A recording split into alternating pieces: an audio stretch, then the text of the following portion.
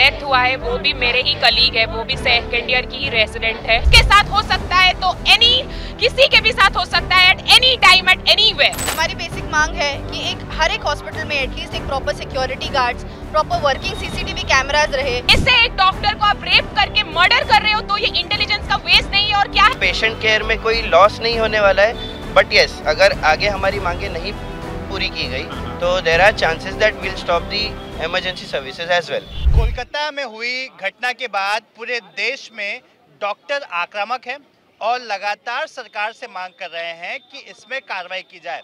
मैं मुंबई के नायर अस्पताल के बाहर हूँ, यहाँ पर आप देख सकते हैं, ये सब रेसिडेंस डॉक्टर हैं, जो अलग अलग प्ले कार्ड लेकर जस्टिस की बात कर रहे हैं और ये भी कह रहे हैं कि जो हुआ है, गलत हुआ है और आरोपी के खिलाफ कड़ी से कड़ी कार्रवाई की जाए, हम लोगों से बात करेंगे। जिस तरह की घटना कोलकाता में हुई है ज़ाहिर सी बात है हर कोई दुखी है। डॉक्टर्स किस तरह से देख रहे हैं सेफ्टी की बात कर रहे हैं? Uh, हमारा ये मानना है कि हमारा जो काम करने की जगह है वो हमारे घर जैसी होती है। हमको रेसिडेंट डॉक्टर्स कहा जाता है। रेसिडेंट का मतलब जो वहाँ रहते हैं। हम अगर हॉस्पिटल में हमेशा रहते हैं छत्तीस घंटे रहते हैं फोर्टी एट आवर्स रहते हैं और हम काम करते हैं the least we can expect is हमारी सेफ्टी हम जब इतने सारे लोगों की सेवा करने जाते हैं तो हमारी कहीं ना कहीं सेफ्टी भी एक बड़ा कंसर्न बन गया है अभी।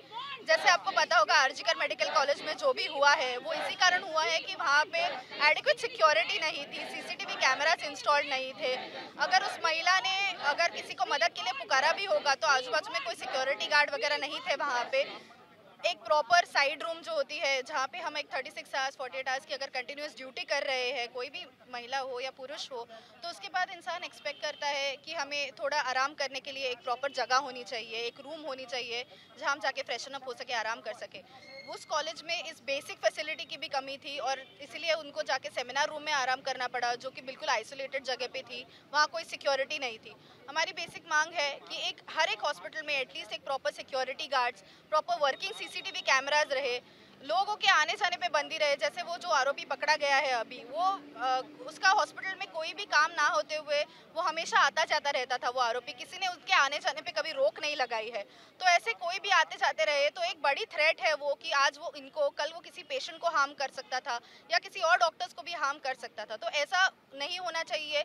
लोगों के आने जाने पर उतनी सिक्योरिटी होनी चाहिए प्रॉपर सी बात है कि अगर जो पेशेंट है वो वही एंटर करे आम लोग ना आपने जो प्ले कार्ड लिया है ये क्या आप इसमें क्या लिखा देखिए, आज जो कोलकाता में हुआ है injustice anywhere is a threat to justice everywhere आज जो कोलकाता में हुआ है, कल जाके वो देश के किसी भी भाग में हो सकता है। तो हमें एक साथ रह के खड़ा होना है इस चीज़ के अगेंस्ट और तुरंत इसकी जो कार्रवाई है वो तुरंत से तुरंत होनी चाहिए और जो दोषी है उसको कड़ी से कड़ी सज़ा मिलनी चाहिए। ये हमारा सबका मांगना है। इसलिए फोर्डा के संगठन के साथ में जो मार्ड है Maharashtra association of resident doctors आज हम पूरे देश के रेसिडेंट डॉक्टर्स एक साथ खड़े हैं ताकि एक जगह पे जो ये इंसिडेंट्स हुआ है वो फिर से कहीं भी पूरे देश में कहीं ना आप क्या कहेंगे? आप कौन से क्लास के मतलब स्टूडेंट हैं? मैं मैं यहाँ की रेसिडेंट हूँ सेकेंड ईयर रेसिडेंट हूँ और जिसका डेथ हुआ है वो भी मेरे ही कलीग है, वो भी सेकेंड ईयर की ही रेसिडेंट है। और मैं ये कहना चाहूँगी कि आज जो उसके साथ हुआ है, अगर वर्क प्लेस में ऐसा हो सकता है तो ये किसी भी, कोई भी लड़की के साथ with anyone any time anywhere ये हो हो सकता है तो this is a big cause and we should stand for it and justice मिल मिलना ही चाहिए उसको और ये ये सिर्फ़ उसका नहीं है ये जस्टिस पूरे इंडिया का है और इसके लिए हम ये हम ये लोगों लो तक पहुंचाना चाहते हैं अगर उसके साथ हो सकता है तो एनी किसी के भी साथ हो सकता है at any time at anywhere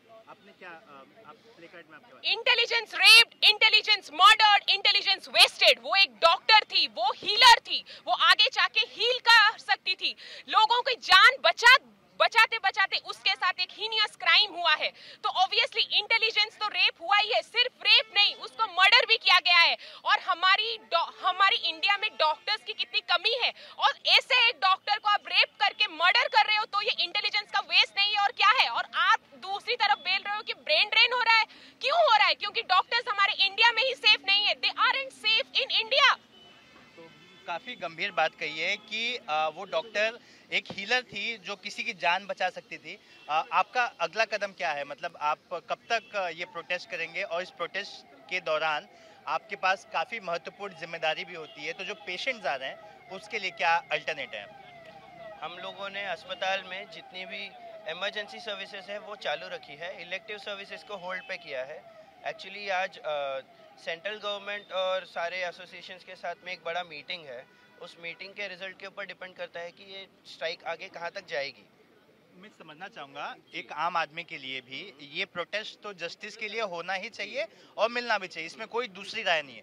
लेकिन आपके ऊपर जो ज़िम्मेदारी है एक भगवान के रूप में आपको देखा जाता है। तो जो पेशेंट आ रहे हैं, जिसका बीएमसी में तो आपको पता है कि लोगों को महीनों महीनों तक लाइन लगाना पड़ता है किसी एक टेस्ट के लिए। तो क्या क्या उन्हें दिक्कतें आ सकती हैं किस किस चीज़ के लिए उन्हें और रुकना पड़ेगा? जस्ट ये प्रोटेस्ट को देखते हुए। जितने भी इलेक्टिव सर्विसेज़ है मतलब नॉर्मल जो पेशेंट्स आते हैं ओपीडी में उन्हें देखा जाता है।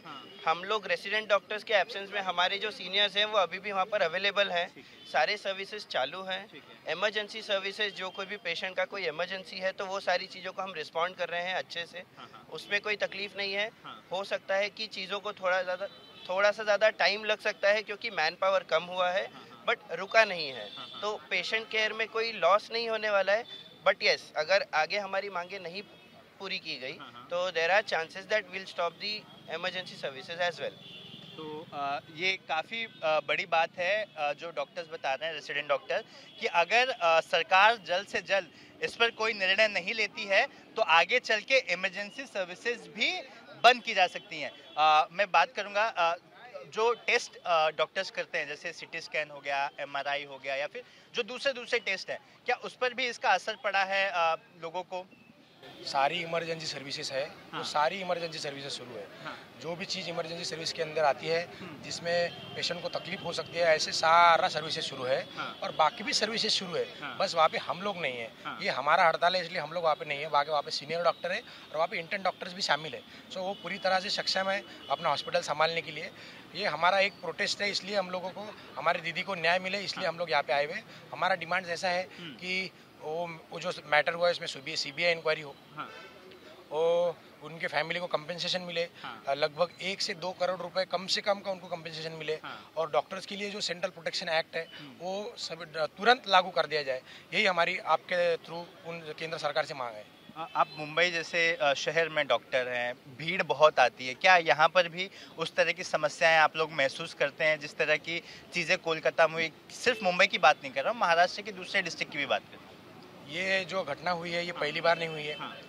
आप रोज़ न्यूज़ में देखते हो कि हर कोई सुसाइड कर रहा है हर कोई इससे पीड़ित है और सबसे मेन मतलब हमारे जो रेसिडेंट डॉक्टर और जो इंटर्न डॉक्टर है हम्म। इनके ऊपर मेंटल प्रेशर बहुत ज़्यादा है उनके तरफ़ डिपार्टमेंट की तरफ़ से मेंटल प्रेशर हो गया कॉलेज की तरफ़ से मेंटल प्रेशर हो गया एनएमसी हर दिन कोई नया रूल लाती है हाँ। कल एग्ज़ाम लाता था आज एनएमसी कैंसिल करती है या फिर परसों ढकल देती है जैसे नीट पीजी में भी आपने देखा होगा नीट पीजी में भी आपने देखा होगा बच्चे एग्ज़ाम को गए और वहाँ से उनको जहाँ पे उन्होंने होटल वगैरह बुक किया था पैसा तो पहला फाइनेंशियल तो लॉस हुआ ही था उनका मेंटल हेल्थ का भी उन्होंने लॉस हुआ था। तो इस तरह से जो बेहुदे हरकतें चल रही है जो भी ऊपर लोग बैठे हुए हैं हमारा बात सुरक्षा की करते हैं क्योंकि आज जो प्रोटेस्ट है सुरक्षा मेन मुद्दा है।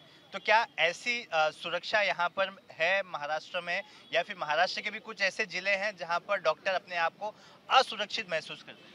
रोज़ हमारा ग्रुप है वहाँ पे हर हर आए दिन कोई ना कोई खबरें आती है कि रेसिडेंट पे हमला हुआ है।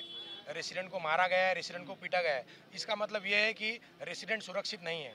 हाल ही में एक मैटर हुआ था जिसमें रेसिडेंट को मारा गया और हर आए दिन ये मैटर होता है। तो इसका मतलब ये है कि रेसिडेंट सेफ़ नहीं है। हमारी मांग आपके थ्रू यही है कि सिक्योरिटी का तो भी बढ़ाओ और उसके बाद में जो जो भी लॉ है तुरंत अपने डॉक्टर्स के लिए लागू कर दिया जाए। और सबसे मेन मांग जो है जो भी एनएमसी में और इधर जो लोग बैठे हुए वो वो ऐसा तुरंत कोई ना कोई डिसीज़न ऐसा ना ला दे जिसके हमारे मेंटल हेल्थ पे भी कोई परेशानी हो। धन्यवाद। तो आपने रेसिडेंट्स डॉक्टर को सुना।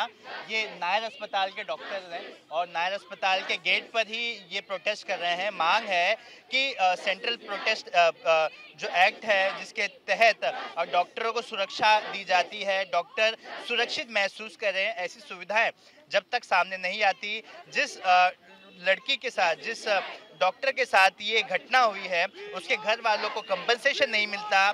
सीबीआई की जाँच का आदेश नहीं दिया जाता तब तक ये प्रोटेस्ट किया जाएगा। और अगर सरकार फैसला लेने में और देरी करती है तो आगे चलकर इमरजेंसी सर्विसेज़ भी बाधित हो सकती हैं।